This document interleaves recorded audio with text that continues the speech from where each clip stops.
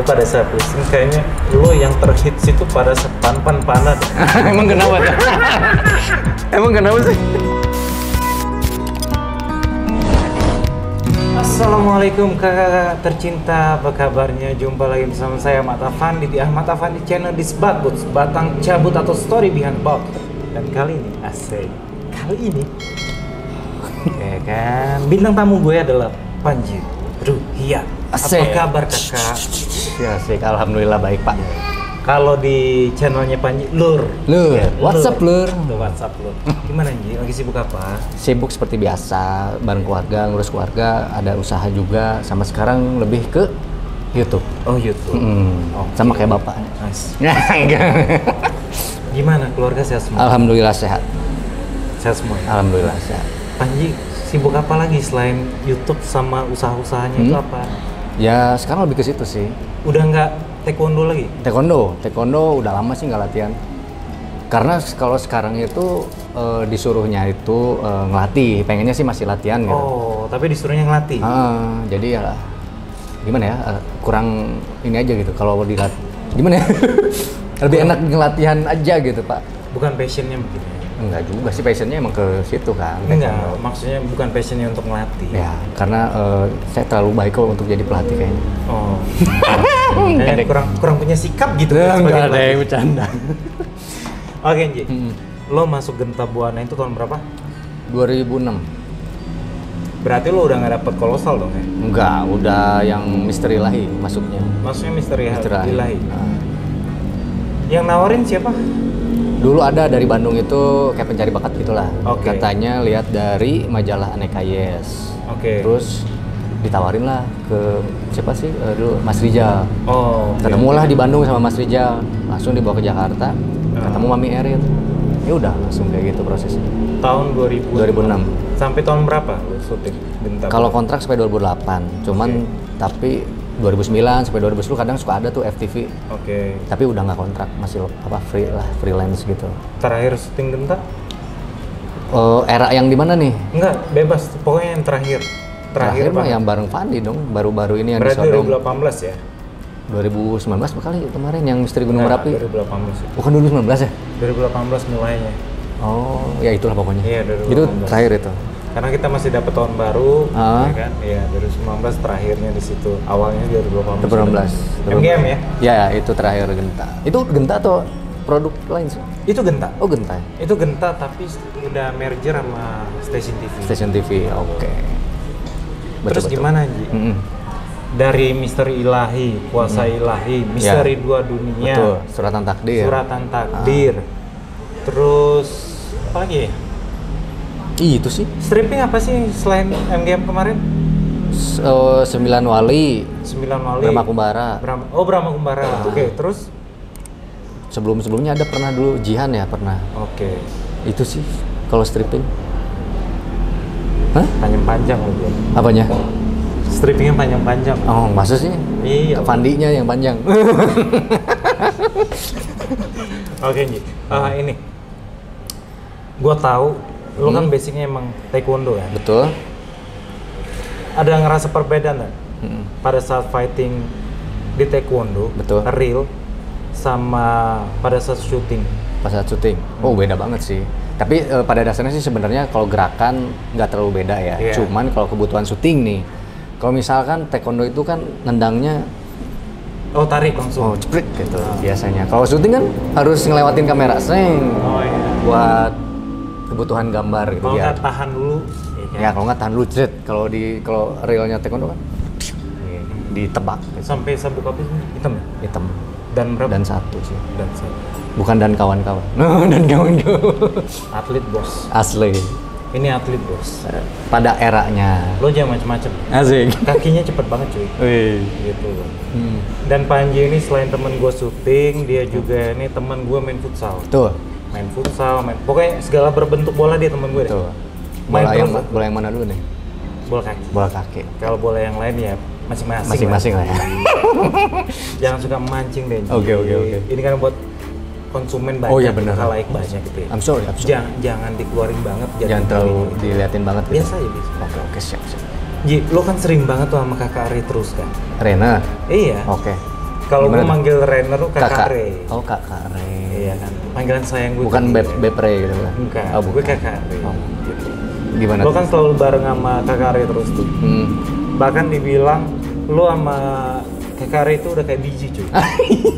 Iya serius gue. Udah Betul. kayak biji. Biji apa dulu nih? Mungkin karena gue lihat mungkin kalian itu punya hobi yang sama pertama. Hmm. Suka sama-sama suka Naruto. Betul. ya kan sama eh, suka sama-sama suka manga ya kan kartun-kartun Jepang gitu dan kalian suka musik bareng Ya. sempat ikut acara apa waktu itu? Super Soulmate dulu. Tahu. oh ini juga per, inget ya waktu di Citra Grand pernah nyamperin Ji kita latihan nyanyi. Ingat gak? gue Nah, oh, di rumahnya Renner, ah, Panji, Renner, Pandi. Renner lagi main drum, gue main gitar, terus lu tuh yang nyanyi-nyanyi. oh ya itu nyanyi-nyanyi emang gue pengen lihat betapa jeleknya suara gue gitu. Ternyata memang jelek Bolehlah gitu. tes coba. janganlah Oh jangan. takut di calling sama ini Ariel Noah Asik. takut diajak duet soalnya Asik. Featuring ya. featuring Bang Boril eh. Kembali. kenapa kalian itu kesampean untuk nyanyi berdua gitu loh ah, kenapa gitu? iya kenapa Eh, awalnya sih gini, eh, ada satu manajemen nih nawarin, oke Eh, mau nggak ikutan Super Soulmate katanya. Oke. Apa tuh? Ya kayak acara nyanyi. Kalau dulu ada Super Mama, tapi ini ada Super Soulmate Hmm. sama sahabat gitu. Hmm. Kebetulan kalau Renner dia nggak mau nyanyi sebenarnya. Oke, lu paksa. Eh, kalau "Eh, ikutan aja lumayan gitu. gitu. Kan lumayan dapat uang juga kan Hmm. gitu. Apalagi hadiahnya gitu. Ya udah kita ikutan aja. Akhirnya ikutan ikutan Renner juga akhirnya dia eh, keenakan nyanyi. Latihan karaoke bang. Di antara lu sama Renner, Nah. suara siapa yang lebih mendingan? Lebih bagus Renner lah. Bener. Bener. Coba ntar kalau sama Renner lagi collab suruh nyanyi. Ah, dia pasti kagak mau. Ya kan juara juara satu gitu Chopper Soulmate. iya, itu kan ya pinter-pinter kalian lah ya ngaturnya kan Eh, siapa yang ambil nada duluan, siapa yang pembukaan, siapa Iya. yang backingnya, siapa yang ambil suara satu, siapa yang ambil suara dua. Emang ya kan? ada kayak gitu. Ya mungkin lo kayaknya yang lebih ngerti Ah. tuh. Secara kemarin kan gue lihat lo lagi bikin cover lagu ya kan? Betul. Cover Gimana lagu. itu prosesnya? Proses yang mana nih? Ngambil cover lagunya itu kenapa kepikiran? Kepikiran. Sebenarnya gini eh, banyak fans Genta Buana sih ya. Iya. Karena banyak nih eh, pemain-pemain Genta bikin channel YouTube. Oh. Eh, coba deh lip sync. Kalau lip sync kan udah ada nih Bang Afdal. Misalnya oh, lip sync udah ada. Istilahnya kalau lip sync juga takutnya gua kena apa sih copyright ya. Iya, Kalau bener- copyright. kalau bener-bener ini walaupun mungkin cover juga kena, cuman setidaknya kalau cover itu lebih ke emang bukan karya kita langsung ya, emang kita Iya. nge-cover. Cuman setidaknya kalau dengan musik eh, dengan musik kita sendiri Iya. lebih gue lebih ngerasanya lebih enak lah gitu terus ya dengan karakter nyanyi gue sendiri gitu bukan ngikutin yang aslinya gitu. terus musiknya juga di aransemen berbeda banget Iya. iya. emang ke band gitu lebih band kebetulan kerja- eh, yang nge-support anak band juga gitu Iya tuh. betul Gue liat wah dahsyat juga nih gue. Bismillah lah nantilah dikeluarinnya Gue bilang Panji mah gokil juga. Dan gue sempet denger ternyata bini lu bagus sih suaranya ya. ya kebetulan alhamdulillah Karena kan emang kawin gitu loh suaranya tuh. Kayak orangnya kawin. eh ya katanya jadi sebut kan kalau kalau suami istri ya sah oh sah ya Cuman nggak tahu ya kalau yang lain. eh Ops. Oh, maksudnya siapa nih? Bang Mario atau Fandi nih? Balik lagi nih ya gue. Selama lu eh, syuting di Genta, misalnya stripping, Mm. kan keluarga lu di, di Bandung. sempet di Bandung. Di Bandung tuh sebenarnya gue di Jakarta tuh 2006 tuh kan ke Jakarta tuh. Iya. Selama itu tuh sampai 2017 tuh gue di Jakarta. sebenarnya. Oh udah di Jakarta. Tapi kok lu nggak pernah ngajakin gue main ke rumah lu ya? Masa sih? Nggak pernah lu. Oh gitu. Emang lu ada masalah sama gue? Ada sih banyak. Apa sih? Enggak lah. Enggak. Jadi gini ya, gini loh Hmm. kakak-kakak tercinta. Mm-mm. Gue kenal Panji ini udah lama banget. Memang sih kita nggak, eh, gua sama Panji nggak sesering Panji sama Kak Re gitu. Mm. Tapi kan kita kan main bola bareng. Gua Main juga kan PS ya dulu main. PS. Dia juga sering main ke rumah gue. Tapi gue nggak pernah diajakin main ke rumah dia. Iya, ntar main aja ke rumah. Gue bingung jadinya. Hah? Nggak usah Kenapa sih? bingung. Nggak usah. Karena gue waktu itu kalau fokus syuting nih, Hmm. ya emang di Jakarta gitu. Tapi kalau misalkan lagi ada break ya udah gua ke Bandung. pulang.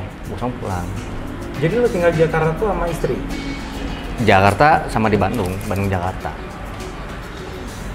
Bingung Jadi ya? di Jakarta ada, di Bandung juga ada? Bukan bukan gitu. Wah, kayak ketahuan ya. Oh enggak lah bercanda. Ini Enggak. gimana sih maksudnya? Bini gua di Bandung. Oh bini lo di Bandung. Bandung. Terus yang di Jakarta sama istri? Enggak kan ada rumah nih di Jakarta. Maksud gua tuh. Oke. Cuman kalau istri di Bandung. Oh, berarti lo tinggalnya sendiri ya? Iya, kalau di Jakarta. Jadi kalau memang lo break baru lo Baru ke Bandung, Bandung. ketemu istri. Tuh. Gitu, Pak. Nji, Nah, terus jujur aja gue nih masih penasaran dengan pernikahan lo. kenapa tuh? Kok banyak yang penasaran sih kemarin si Renner lagi? Iya, gue, gue jujur aja gue penasaran sama pernikahan lo. Kenapa tuh? nikah sama istri lo tahun berapa, bulan apa, tanggal Lah. berapa? Emang kenapa? Iya, ini pertanyaan. Katanya. Pokoknya gue udah punya anak tiga aja. Enggak, gue cuma pengen tahu lo nikah tahun berapa. Dia kan tahun berapa ya?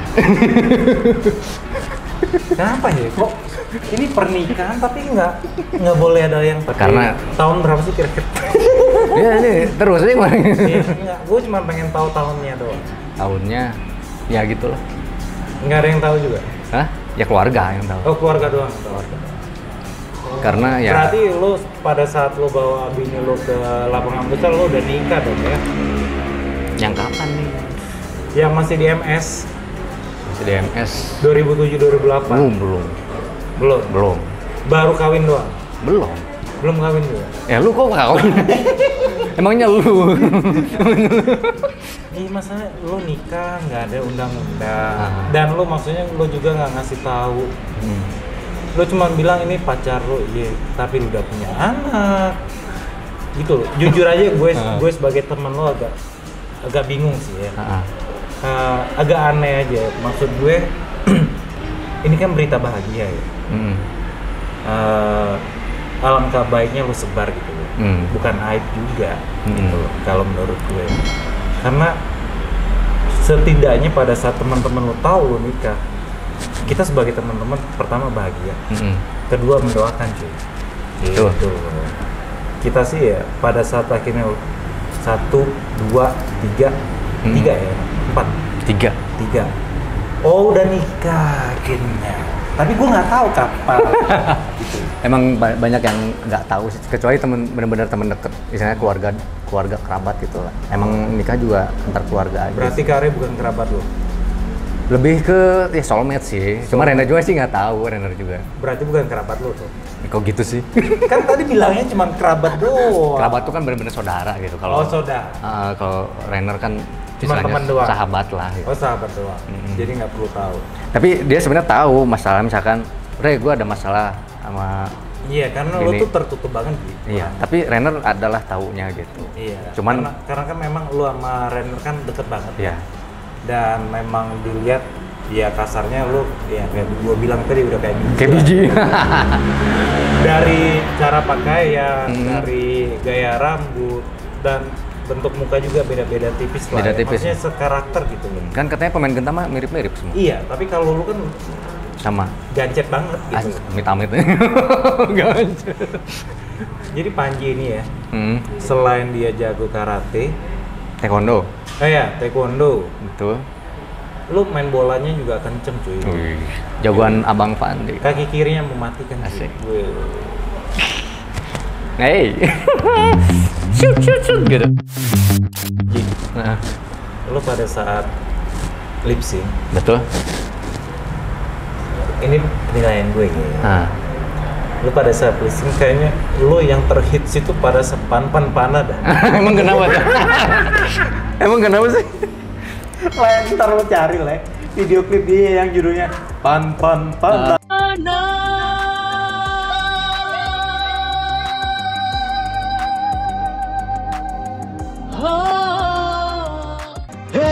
pana, hey hey pan pana, hey pan pana, hey hey pan pana, hey pan pana, hey hey pan pana. oh, pan pan Kayaknya menjiwai banget itu. iya asli Emang kebetulan gua yang pan panah itu hampir berapa kali amal Erin, Lisda. sama Erin pernah, sama Lisda, sama Penti, Ya. sama Teh Lilis, Mel. Teh Lilis juga Teh pernah. Lilis ya Tapi lagunya pan panah. Gitu. Tapi gue anjing. Eh, jujur, Sama Eva. Iya, jujur maksudnya gini. Hmm. Gue sebagai pemain ya, Hmm. kalau gue dikasih lagu itu gue agak minder sih. Kenapa emang? Karena apa ya? Eh, buset, ini lagu apa nih? Tapi ya, mungkin beda. Ya makanya itu beda-beda. kan. Hmm. Mungkin kalau lu kan memang oh ya udah, ini kerjaan gue. Hmm. Ya kan? Dan lu juga sangat menjiwai sih kalau gue bilang. Dan goyangan lu kan Asik. on beat gitu. Nggak Asik. kayak gue, kalau gue kan off beat. Oh gitu. Nggak bisa nggak bisa joget lah gue. Kasarnya. tapi goyang bisa lah ya. Goyang ya bisa, lah, Bisa. tapi off beat gitu. Oh, oke. Sesuai sama irama lah. Oh. Kasian sih sebenarnya. Oke, Nji. Heeh. gue mau tanya. Hmm. Selama di Genta, Hmm. yang paling berkesan buat lu tuh apa? Paling berkesan, gue bisa naik kuda. Terus bisa nyetir juga dari Genta. Serius, awalan masuk syuting Genta itu nggak bisa nyetir pak. Lu nggak bisa nyetir? Nggak bisa nyetir, jadi syutingnya juga ceritanya ditarik gitu pakai tali. Kalau nggak didorong lah ya, Enggak, kurang lebih. kan ya. ceritanya apa sih? Traveling ya? Iya. Nah itu ditarik si mobilnya. Gue cuma pura-pura aja gitu. Tapi kan jadi diri sendiri nih. Nggak enak hati gitu. Nggak enak hati nih, gue harus bisa. Masa sih gini terus? Sampai akhirnya lu belajar. Akhirnya belajar. Oke. Terus apa lagi? Dia bisa naik kuda. Selain naik kuda, lu naik kuda emang lu nggak pernah nggak pernah naik kuda sebelumnya? Sebelumnya nggak pernah. Di Genta bisanya juga. Oh, belajar waktu syuting, oh nggak bisa. Jadi ada kejadian lucu pas syuting naik kuda ceritanya jadi kayak wali gitu. FTV sih waktu oke. itu bareng Ah. Sigit berdua. Set, gue nggak bisa naik kuda di gini-gini nggak maju-maju. Akhirnya pura-pura aja pak diambil tapi duduk di kursi gue gini-gini. Asik. Jadi nggak naik kuda beneran. Tapi sekarang kan udah bisa. kan? Ya dari situ belajar, belajar, belajar. Oh. Ada kuda, walaupun gua lagi nggak ada tek naik kuda, cobain dong. Lu tetap belajar. Ah, cobain dong. gitu. Jadi akhirnya ya beranikan diri, Oke. bisa. Tapi nggak jago kayak Fandi bawa kudanya. Lu mah kan udah jago banget tuh bawa kuda tuh. Apalagi kuda-kudaan. Kuda-kudaan.